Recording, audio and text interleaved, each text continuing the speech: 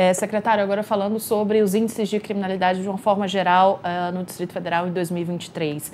É, como é que as, quais são os dados que a Secretaria colheu aí neste ano em relação aos homicídios, em, de uma forma geral, em relação também aos roubos, é, aos furtos? Como é que foi o ano do Distrito Federal aí em 2023 referente à criminalidade? Os números dos homicídios têm caído significativamente. Nós temos quebrado recordes em cima de recordes né? É, esse ano é mais um recorde. No ano passado, né, ano de 2022, nós tivemos o menor número de homicídios da nossa longa série histórica que a gente vem acompanhando os números dos homicídios desde 1977. Né? Mas nesse ano, graças a Deus, a gente conseguiu reduzir ainda mais esse número. Isso mora, mostra o quê? Mostra uma consistência nesse trabalho que está sendo feito. Se você pegar as estatísticas, desde 2013, todos os anos, todos os anos, ano após ano, os números vão caindo um pouco. Ou seja, mostra que há consistência. Agora, é claro que a gente não vai se satisfazer né, com, com, números que vêm caindo, mas que ainda são elevados.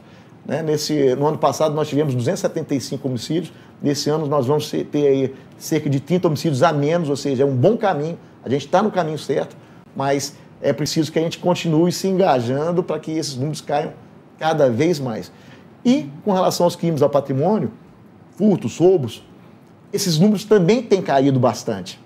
Mas ainda há aquele chamado sentimento de insegurança por parte da população, que aqui no Distrito Federal é, ainda está num nível tolerável se comparado a outros estados.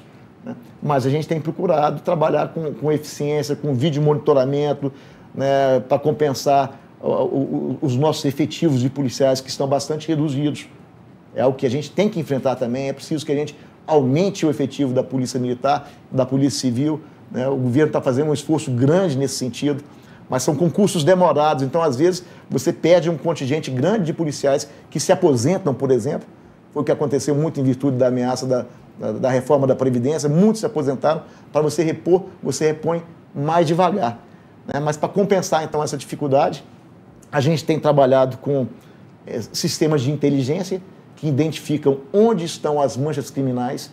Né? São 440 micro-regiões do Distrito Federal, onde a gente tem os números exatos de qual é o crime que está acontecendo naquela região, em que horário ele acontece, em que dia da semana ele acontece, para que a gente possa deslocar o efetivo prioritariamente respeitando esses dados.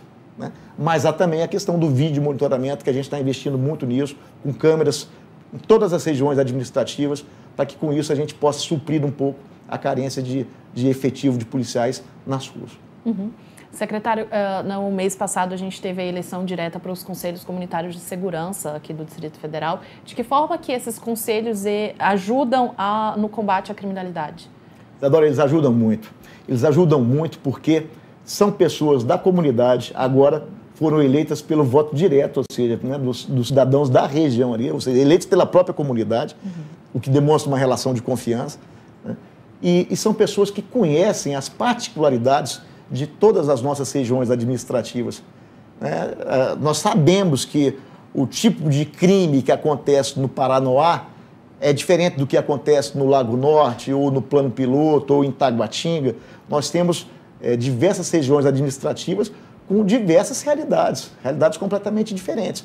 Então, cada eh, membro do, do conhece a realidade local e nos ajuda, inclusive, a identificar as chamadas desordens que acabam repercutindo nos números da criminalidade. Então, por exemplo, problema com iluminação pública. Né? É algo que não vai ser resolvido diretamente pela segurança, mas vai ser resolvido por essa soma de esforços que o governo do Distrito Federal vem patrocinando, unindo áreas diferentes do setor público, né, para somando então os esforços, a gente, darmos, a, a gente dá a solução a, a, a, essas questões. Então, por exemplo, se o problema identificado é problema de iluminação ou falta de pavimentação, ou né, qualquer tipo de degradação do ambiente que repercute na segurança, como, por exemplo, as carcaças de automóveis abandonadas, que a gente está fazendo uma grande operação chamada DF Livre de Carcaças, que nós já tiramos, tiramos mais de 1.200 carcaças de automóveis que estavam esparramadas em todos os pontos do Distrito Federal. Carcaças de automóveis que servem para você esconder objetos de crime, esconder drogas, cometer, às vezes, crimes de natureza sexual. né? ou a, mesmo o, o, o, bandido se homiziar, se esconder dentro daquela carcaça. Então, tudo isso a gente tem feito com que essa questão do ambiente no Distrito Federal também nos ajude a combater a criminalidade e reduzir os números. Então, assim, é um esforço muito grande, né? não só da segurança pública, mas de todas as áreas do, do Distrito Federal, somando, então, né, as atribuições, cada um, cada um cumprindo a sua, para que a gente possa, então, apresentar números cada vez mais reduzidos da criminalidade. Uhum.